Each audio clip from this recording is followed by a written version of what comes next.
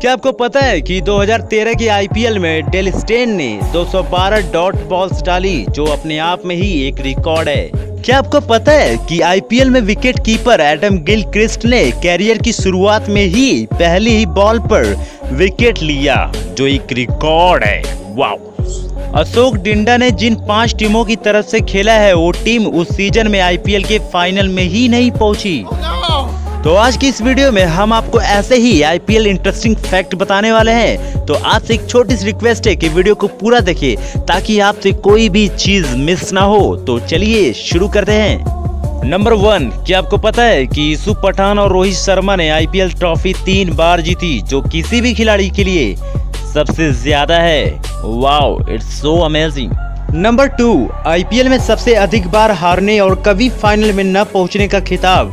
Delhi Daredevils की team को जाता है। नंबर थ्री, आईपीएल में सचिन तेंदुलकर और विराट कोहली को मोस्ट वैल्यूएबल प्लेयर का खिताब मिला है।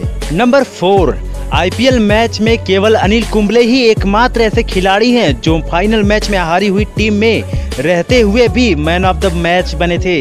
वाओ नंबर फाइव बीसीसीआई ने श्री श्रीसंत पर आईपीएल 2013 में स्पॉट फिक्सिंग मामले में जीवन भर क्रिकेट मैच न खेलने का प्रतिबंध लगाया था।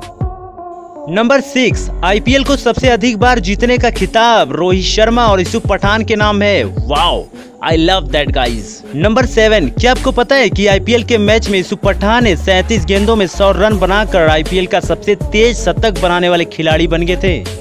नंबर एट, क्या आपको पता है कि चेन्नई सुपर किंग्स एकमात्र ऐसी टीम है जिसने आज तक अपना कप्तान नहीं बदला? Wow it's so great team number nine, क्या आपको पता है कि आईपीएल का पहला मैच 23 सितंबर 2007 को खेला गया था? नंबर टेन, ये नंबर टेन मैं आपके लिए छोड़ रहा हूँ। आप हमें कमेंट सेक्शन में ज़रूर बताएँ।